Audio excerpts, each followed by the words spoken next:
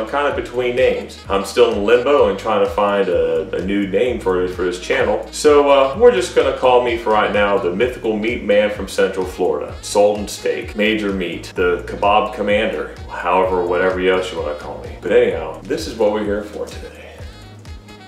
This is a brisket. And this brisket, I'm gonna make on the Franken Barrel. That's my modified barrel house cooker. I'm gonna show you all this here in a little bit, but right now it is, it's about 9.30, it's about 9.30 at night right now.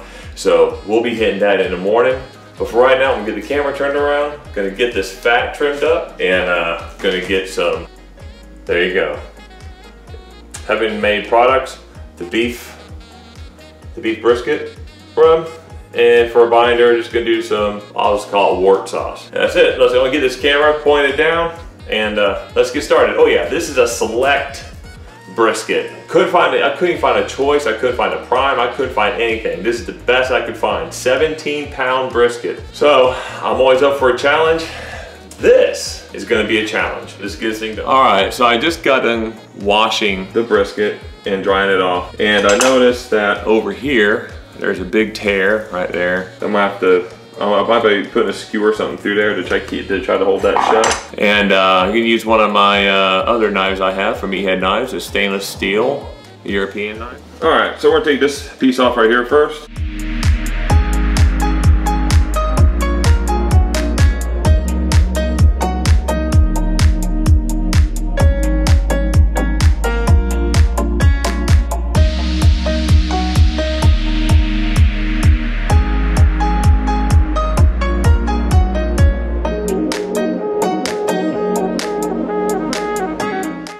Now for select, this does have some pretty good striations in it, which I am pretty impressed with.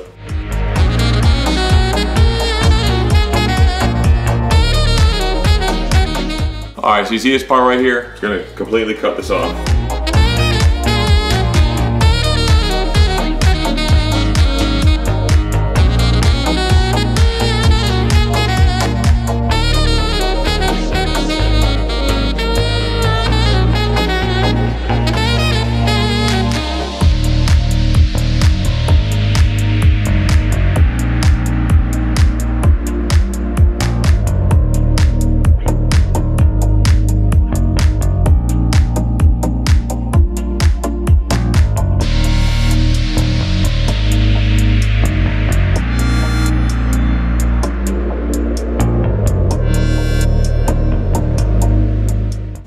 The fat. Gonna see how much that comes up to and minus it off of here.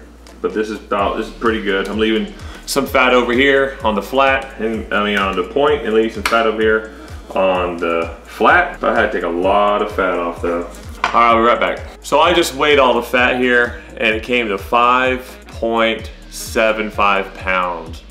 So what I got left the brisket here is about 12 pounds. But I guess that's kind of what you get whenever you're kind of, whenever you uh, don't have time to really look for a good one. Uh, well, that kind of sucks though, but let's get this thing uh, taken care of. We're gonna go with some wart sauce first as a binder.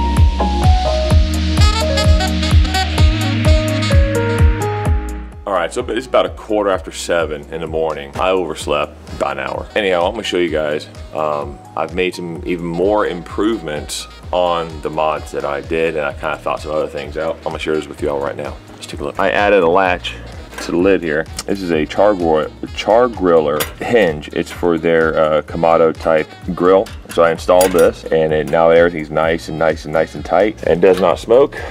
And then I also went to the H-frame uh, went back to the H-frame for the barrel house cooker. The hooks I had, the latch wasn't able to go over and it kept popping this little piece out. So what I'm gonna look for is I'm gonna look for some flat hooks, some some hooks that are kind of flat that can go over. It can still hold up all the weight. But right now I'm gonna uh, put the brisket on here. I'm gonna hang it down and there is plenty of room for this one. And then right here, I've got uh, pecan wood. I have pecan wood up underneath the coals. I put the coals on top. I well, um, I made a nice little hole here in the middle. Then I'm gonna light the coals here in a little bit. The reason these coals look like that is because the other night I lit some coals to see if there was any uh, smoke leaks and there was not. And I was able to snuff out all the coals. I was able to kill all the oxygen and save the coals. So far, all my mods have worked.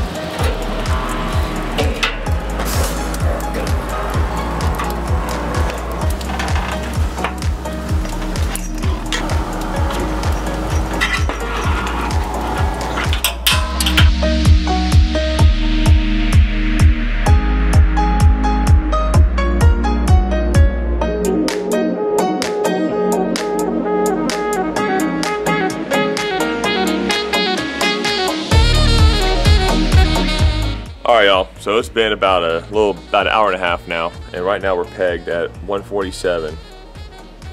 I got a temp probe and a point and I got one in the flat. And right now we're running at 147. That's pretty impressive. Um, the temperature gauge, the bottom temp gauge, we're sitting right about 200. Then the top one, right almost about 275, 265.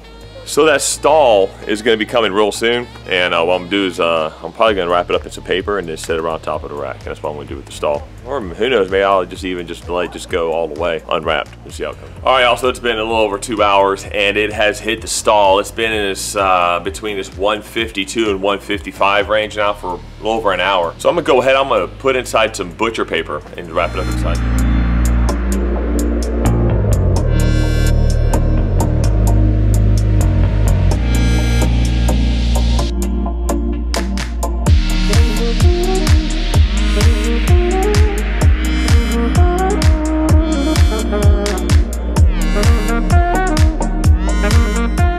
Time now is uh, 11.30, it's been three and a half hours, and you can see here uh, 275 on the dome. Then down here at the base, it finally has gone up to about 350. So finally this, this side over here is finally hotter, but the brisket is about right here. Oh yeah, Y'all check out Barbecue Pit Dog. He sent me uh, one of the stickers. Rob, Barbecue Pit Dog, I appreciate it, man. Thank you, brother. Pretty cool. So there you go. Y'all go check him out.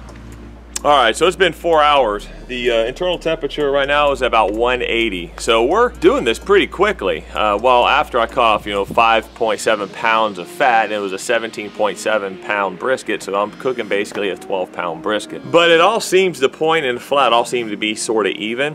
But uh, all my mods uh, that I did are like it's everything I had envisioned and it's working perfectly. It's working flawlessly. So, I mean, I'm really, really, really happy with the mods that I did to it. So uh, I'm gonna give this probably, I think probably about, you know, two more hours. I'm gonna say it's, it's, gonna be probably about a six hour cook, probably two more hours, three more hours at the most. This is gonna be complete. But of course I gotta let it rest. All right, so 180 after four hours. That is awesome. All right, so it's one o'clock. It just hit the five hour mark and right now the internal temperature is 192. It's pretty good. Looks like it's gonna be right around uh, maybe the five and a half, six hour mark to complete this, uh, this brisket. Then of course you gotta let a couple hours to let it rest. Time right now is 234. The internal temperature has just hit 200 degrees. I'm gonna go ahead and pull it, wrap it, and uh, let it rest for a couple hours.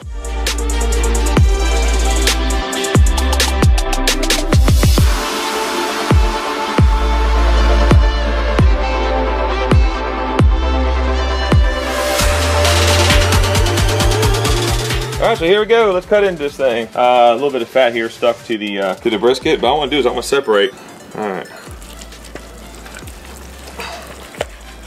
There we go. Here's the here's the point. I'm actually about to uh, cut this up and make that into some burnt end. And then here is the flat. Flat looks uh, looks pretty delicious. Okay, so the grains are running this way. Let's cut into that.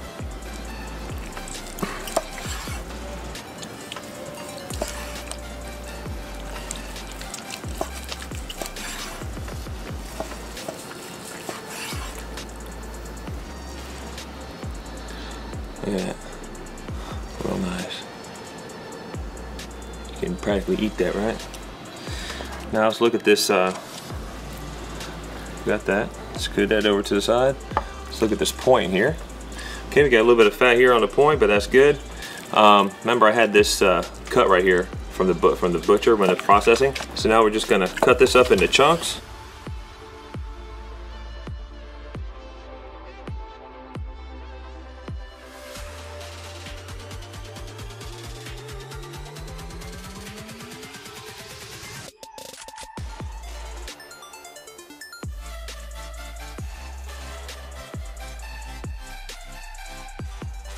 These burn ends I'm going to use, uh, this is from Smoking and Grilling with AB. This is his line. This is uh, Smoking and Grilling with AB's uh, line of barbecue sauces. I haven't been able to do a, a video on it yet, but I'm gonna do it right now. We're gonna go ahead and we're gonna put that on there.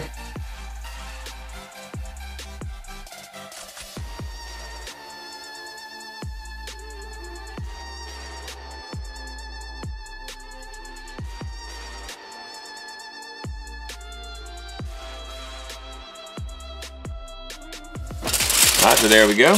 Oh, I've got to do something else. Put some more of this on there.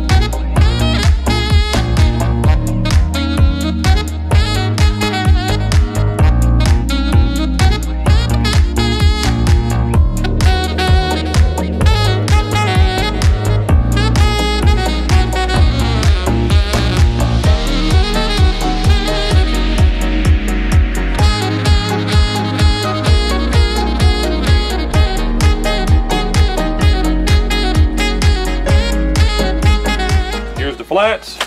Here is the points, the burn ends. Give the sucker a whirl. Right there is the burn end. And over here is some flat.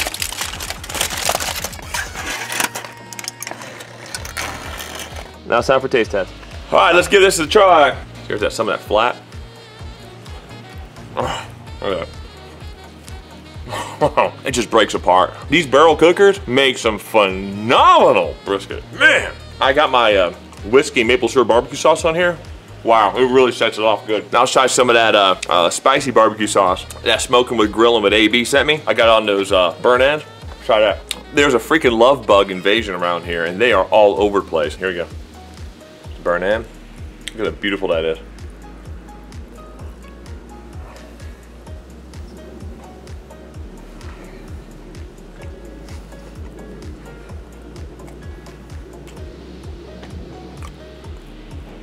Absolutely awesome. And this brisket took six and a half hours. It would have took about five and a half to six. I wasn't paying attention to the temperatures. The temperatures kind of dropped. So I had to come back out. I had to open up the, the flues again and get the fire started back up because uh, the temperatures did drop to about 200 degrees so I had to get it back up there. Uh, but anyhow, this was freaking awesome. And, uh, and every single mod that I did for this barrel house cooker, it was spot on, perfect. Everything went according to plan. Everything went almost the way I wanted to except for the rack. The only problem I had was with the hooks I had to hold the, the gateway drum, a hanging rack on there.